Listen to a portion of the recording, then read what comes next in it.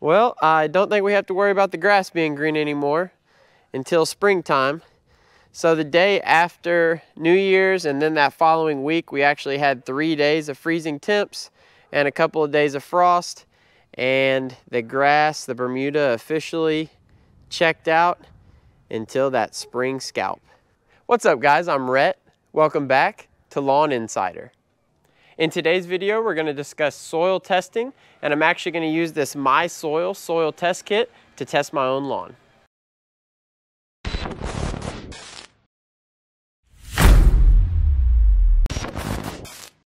So soil testing has kind of become one of those YouTube buzzwords that you'll hear a lot about if you watch lawn care channels, but really how important is it to the average person and the average lawn?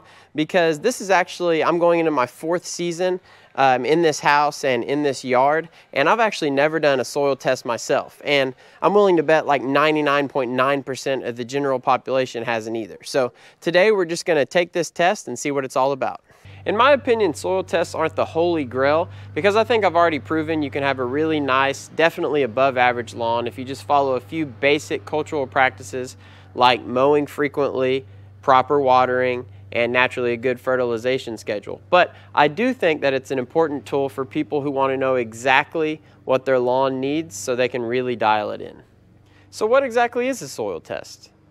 It's really not very complicated. It just involves you collecting a soil sample from your lawn and sending it into a lab for analysis. The steps for collecting the sample might differ slightly from test to test, but that's the general idea behind all of them. So what are they testing? Now this is where it gets interesting because different kits will test for different things, but there's usually four things that get tested on all soil tests. And that's nitrogen levels, phosphorus levels, potassium levels, and pH levels. The first three, nitrogen, phosphorus, and potassium, are called macronutrients. They're called macro because they're the most important nutrients for plant development.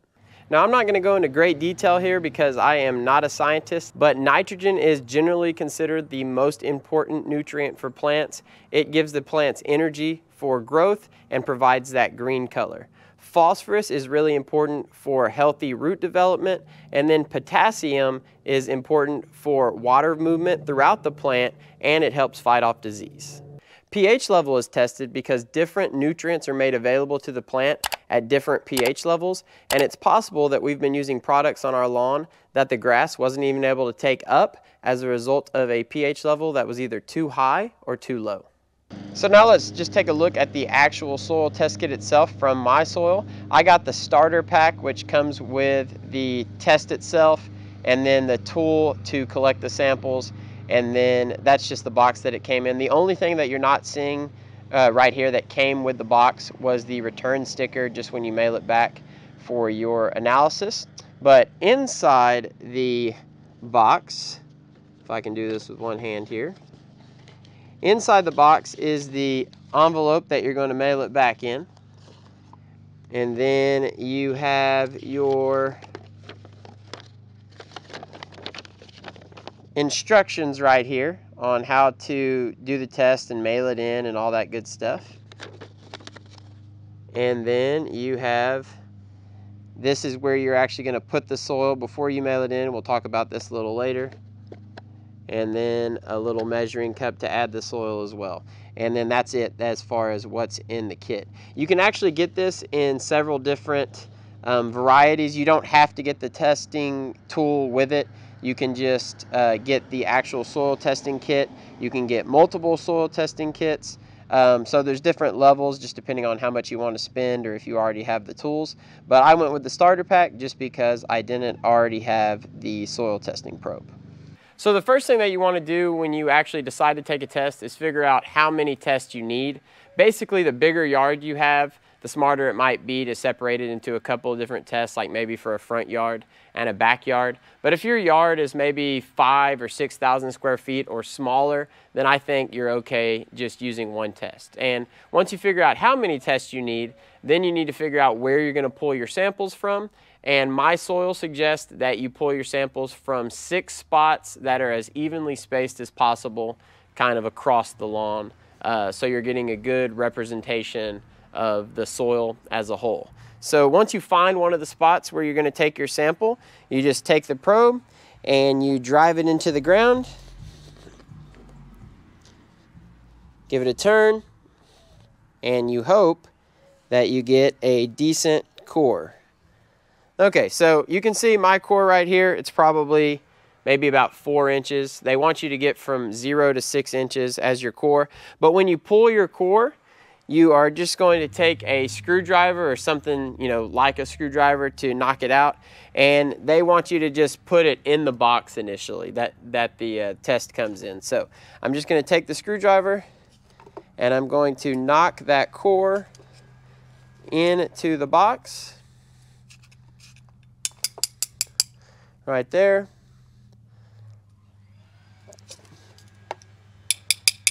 Good.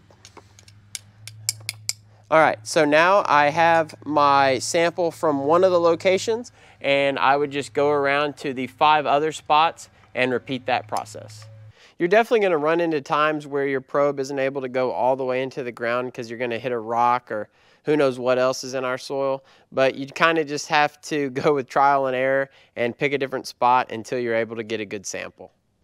So after you've actually collected all of your samples, you will have filled up, you know, a, a pretty good portion of the box. But what you're going to want to do is kind of crumple up the dirt you do have. You want to break up the, the, the bigger pieces. And then you want to pull out any of the organic stuff. So basically all the grass. And uh, if you see any rocks and stuff like that, you don't, you don't want to have that in there either. So you want your sample as clean as possible. So once you've gotten all the larger plant debris and rocks and broken up the soil as much as you could, you're going to take the scoop that my soil gave you and you open up your container and you want to make sure you're not going to spill anything out of here.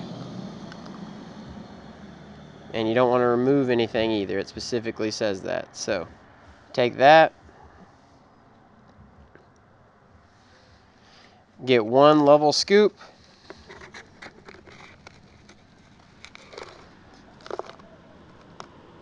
Okay, like that. I could probably add a little bit more. Okay, there's one level scoop. Then I'm going to put it in my container there. And securely fasten.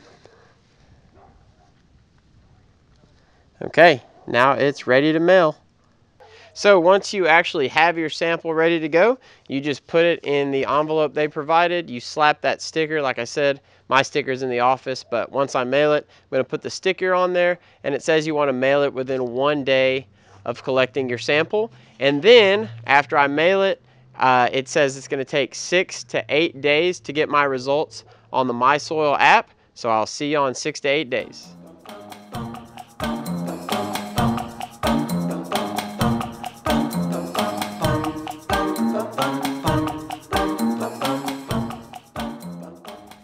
And we are back. So I actually sent in the soil sample on a Tuesday and I got my soil sample results the following Monday. So on the uh, website, it actually does say six to eight days. And I guess that puts me right at the lower end of that at six days. So pretty speedy turnaround. But now let's go ahead and jump into the results. All right, y'all. So the first thing that you really want to do uh, when you hit the mysoiltesting.com page is actually register your kit, and you can do this before you even mail it off.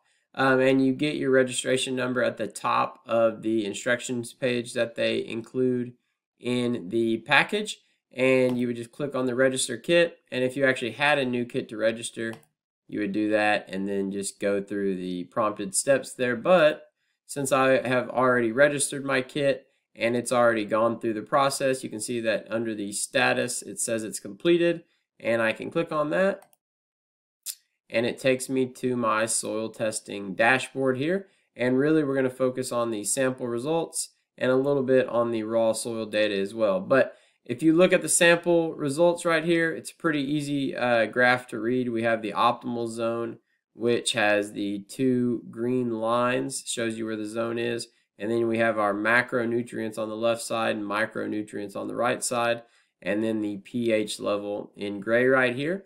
And you can see that overall, most of my nutrient levels are either right at the bottom part of optimal or well under optimal down here at the bottom. Uh, the one outlier is calcium. Calcium is way up here in the stratosphere, and I actually looked up why that might be in our area. Why would we have such high calcium numbers?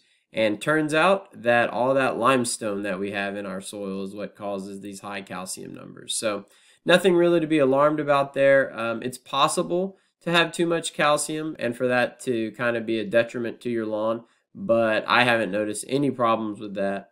And it, it would be fighting an uphill battle to try to correct that, considering just that's our, our native soil around here. So for now, we'll just kind of look past the calcium numbers and look over here to the left on the macronutrients. And you can see that the nitrogen and potassium numbers are really low and the phosphorus is just on the bottom end of the optimal range. And that makes sense because I have not put out a fertilizer application in, probably since early November, which actually brings me to a pretty good point on your soil test. You don't want to take a soil test if you've recently put out an application of a fertilizer because you're wanting to really test like the bare bones soil that you have uh, with no other product mixed in. You know, naturally, if you make an application of something, it's going to skew your numbers in one way or the other. So I actually view those uh, numbers as a good sign because that pretty much tells me that I can put out any sort of fertilizer and I'm going to be in good shape because obviously my lawn needs the NPK because we're kind of low on all three, especially nitrogen and potassium. Sulfur numbers. Uh, sulfur is sometimes considered like the fourth macronutrient. Sulfur, you can tell, is uh, a little bit closer to the optimal range, but it's low as well. Calcium, we already mentioned, is really high. Over here on the right side of calcium, you see the micronutrients, and that is magnesium, sodium, iron, manganese, zinc, copper, and boron. And these four are actually right there on the bottom part of the optimal range, but then zinc, copper, and boron really, really low. And again, just like with the macronutrients, since they're lower, that tells me that I can pretty much put out any product I choose, and it's going to be uh, to the benefit of the lawn, which is a good deal because it means that I don't have to be super precise when I'm picking my products because my lawn pretty much needs all of it. So I can just kind of go with what's what's cheapest and what, what's uh, most available.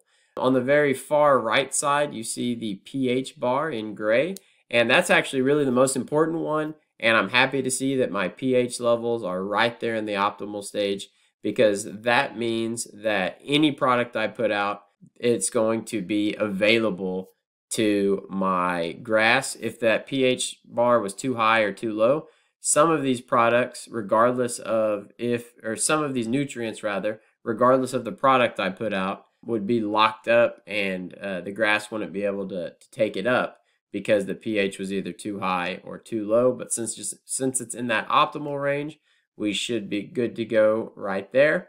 Over here in the raw soil data section, you're going to see the actual numbers that go with the chart. And down here, it's giving you the fertilizer recommendations an organic and a synthetic option. I actually personally wouldn't use the fertilizer that they suggested to me because, for instance, let's just look at this one.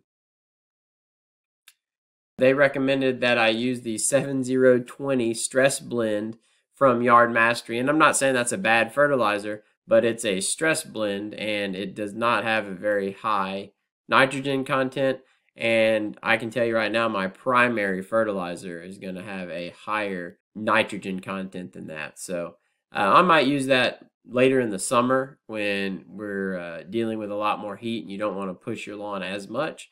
But until then, I'm going to use something with a higher, higher nitrogen content.